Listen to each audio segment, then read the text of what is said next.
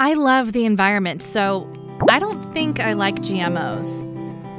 Actually, GMOs are one of the best tools farmers have to help protect and preserve our water, air, land, and even limit the impact of climate change.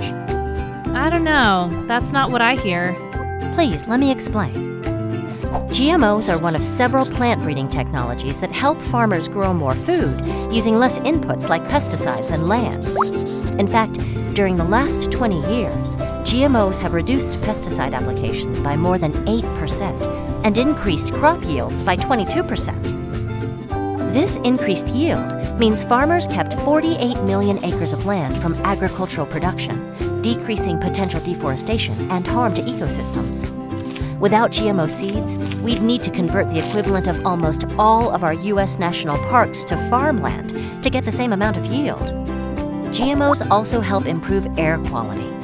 GMO crops allow farmers to till their fields less often, using less tractor fuel and releasing less trapped CO2 in the soil, reducing carbon emissions by 58.8 billion pounds.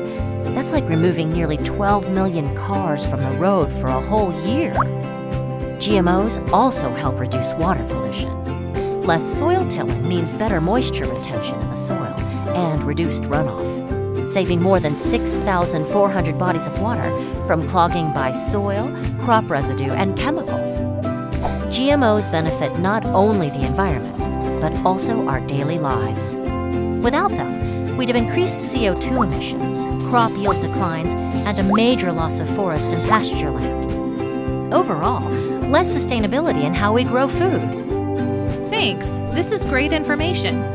But I still have a lot of questions. If you want to learn more, just check out GMOanswers.com.